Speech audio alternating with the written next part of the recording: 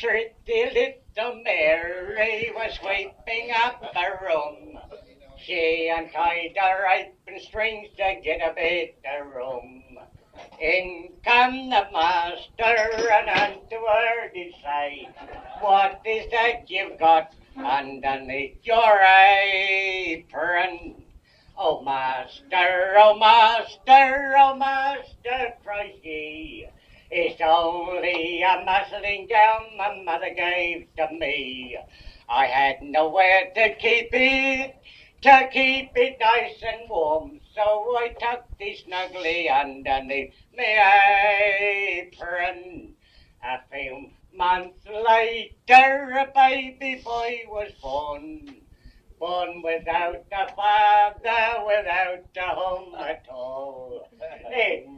Come the master, and unto her did say, Now I see what you had underneath your apron.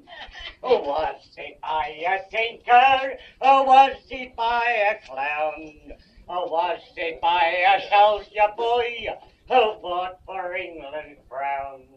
Now it was by a sailor who rode the angry sea, and he tucked his snugly underneath me apron.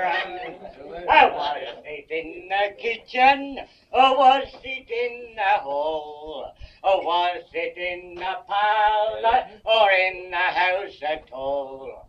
Now it is in the garden, up against the wall, that he tucked his ugly underneath me apron.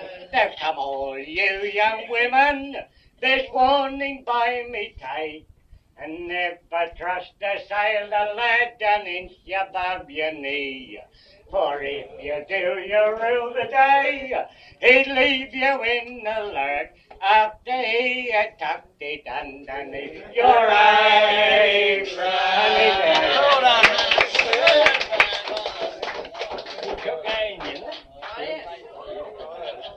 Wind that one up.